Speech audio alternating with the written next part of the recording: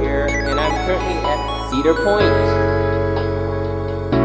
I am at Cedar Point.